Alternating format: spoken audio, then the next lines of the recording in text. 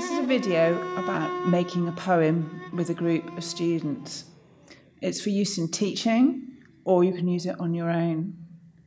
Um, it's especially about making a poem in a multilingual, multicultural environment, and it's sponsored by the Oxford University Creative Multilingualism Project, which in turn is sponsored by the Open World Research Initiative. It comes from a school with nearly 50 languages, and we've assembled a lovely selection of students here, and they're going to introduce themselves. This school is Oxford Spires Academy. It's a school to the east of the city, and I'm Kate Clanchy. I'm the writer in residence at Oxford Spires, and I've been doing that job for nearly eight years.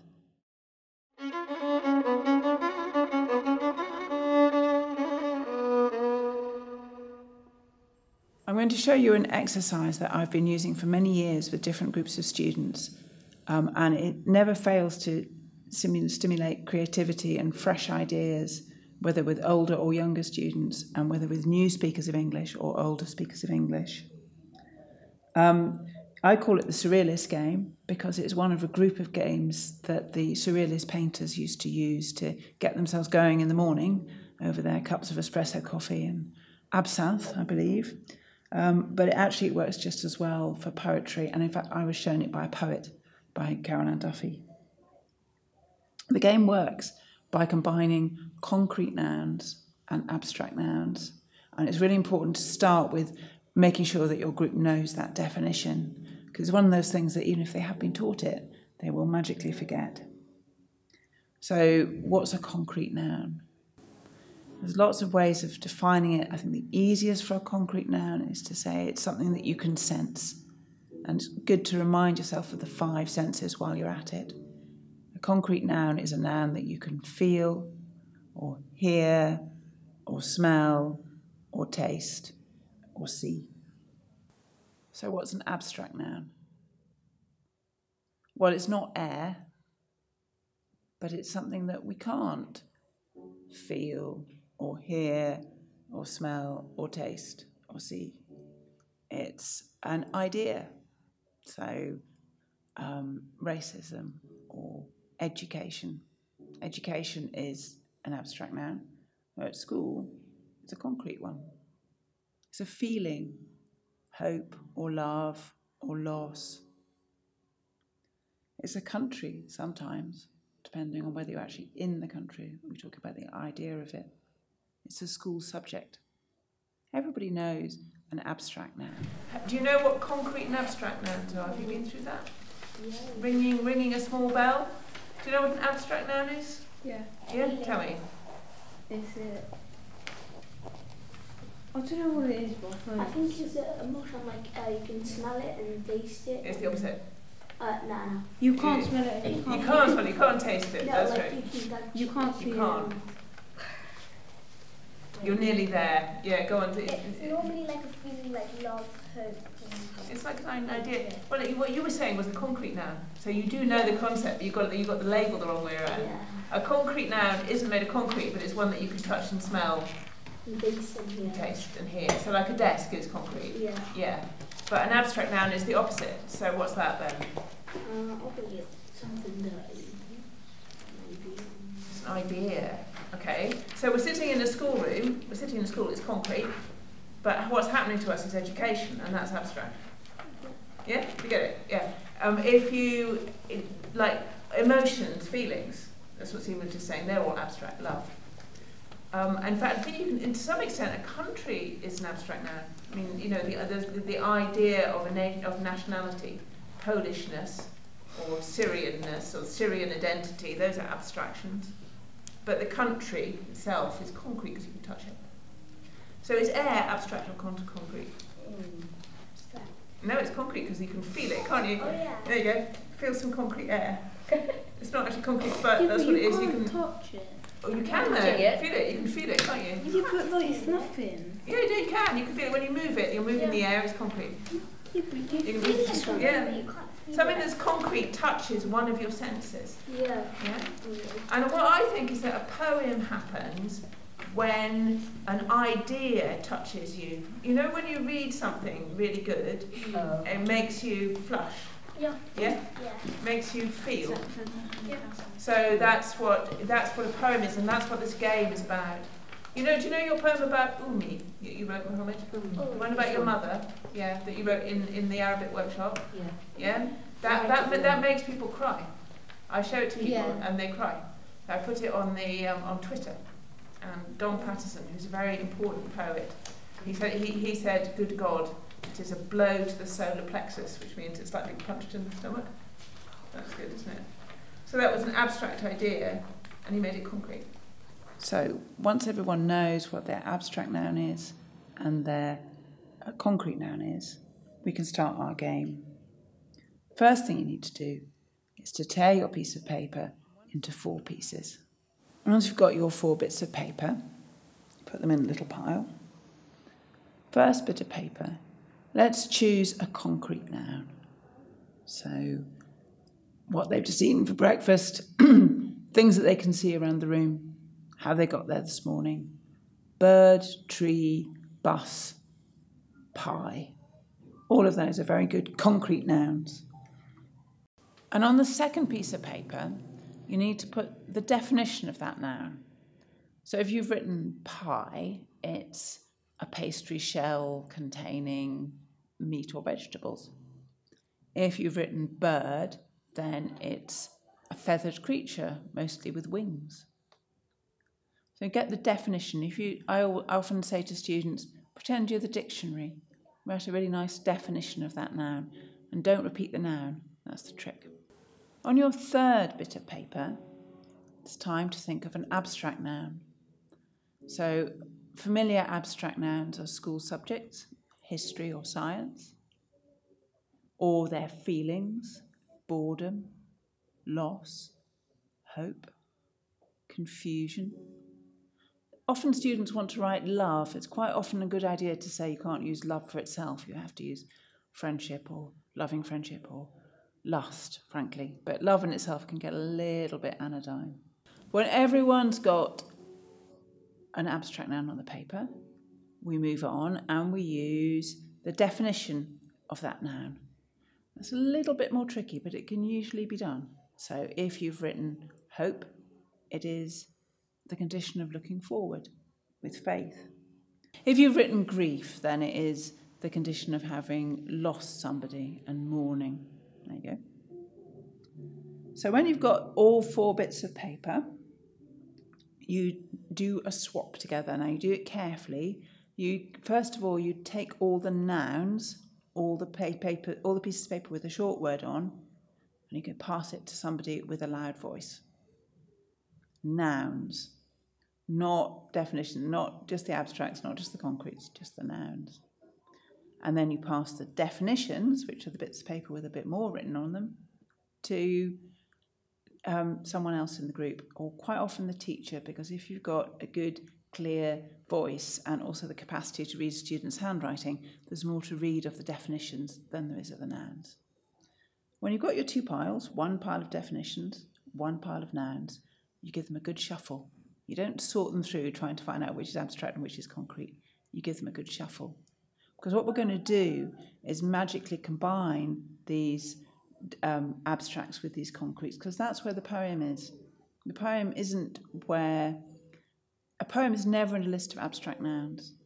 And the most common mistake that students make, young students especially, is to want to say something very grand using all the biggest words they've ever been taught. And there's something about that that's, first of all, it's not very particular. It doesn't tell you about them or their experiences. It makes quite a dull poem. It makes quite a pompous poem. So this game leads them into thinking of things freshly and reminding them that even the grandest thought often has a kind of a smell or a taste to it. So what you do is you call out the first answer at the top of the pile, and then you call out the first definition from the top of that pile. Um, they won't match, and that's the good bit. Though one of them might do as you go down through the piles, and it should be an hilarious process. You can do, uh, you can pick out particularly good ones and make a little list of them, or you can ask people to write down particularly good images because that's what they are. They really they create creative images that everyone will enjoy and will start to start people thinking of poems. So we're going to see if we can find a flower in this room. Uh, not a flower, a poem in this room. And Seaman is going to give me a noun, and I'm going to give her the first it? definition. Say it nice and clearly. Yes. Pencil. A pencil is the flower of the feeling of caring. There you go. That's the poem. Mm-hmm. It's my one. Yeah. Pen. A pen is a tiny creature that resembles a young cat. Mm-hmm. It's a nice one. Hope. Hope is a hard, normally wooden plank that opens and closes to separate rooms and give privacy. That's quite harsh, Happiness. actually.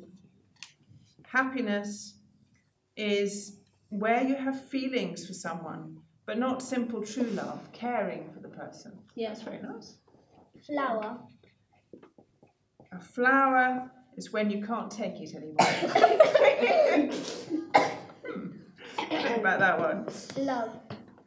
It's. Love is the pen writing what you want. Ooh, that's a poem. Yeah. Yeah. Basketball. Basketball is the feeling of caring for someone. Yeah, that's Yeah. true. Ice cream. Ice cream is something we can kick. Yeah, we don't need ice cream. Hope. Yeah. Hope is a hard ball with a design on it. Love. Yeah, I like that one. Love is very cold and you can eat it. That's nice. That's, that sounds good. That's actually one. That's good. That's good. Yeah. Hate. Hate is something you want to happen in the future. No. Pen. Pen is the something, the feeling of joy, the condition of feeling joy and happiness. Is that a pen? That's good. Pen. For Khan, that Oh, works. Football. Football is to love someone inside your house. yeah, right. Adore. Adore is a thing to write with.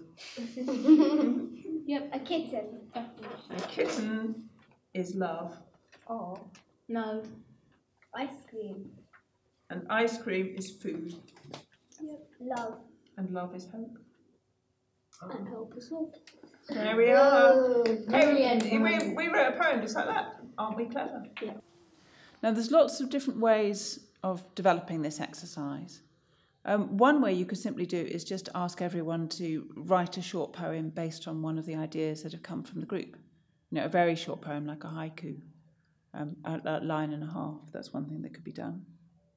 Um, you could you can um, make a group poem together. We could select the best ones and make a group poem. That's another thing we could do. What I did with this group here, and that works quite well, is to ask them to think of an abstract noun that they're interested in. So, love, war, racism, Syria. And then they work on giving a concrete definition for it. So, what that means is you say, What do the things smell like? What does your idea smell like? What does boredom smell like? Does it smell like burning dust on the overhead projector? What does it taste like? What does it look like? What does it sound like? And if we look at Seaman's poem here, it's what she did. What does war t- smell like? Bitter. What does it taste like? Tears. What does it sound like? Sounds like knees falling to the floor. What does it feel like? Feels hot and cold, feels like heads aching from crying. And here's Seaman's poem. She finished it very, very quickly. I think she did in about 10 minutes. Um, and this is what she came up with. War.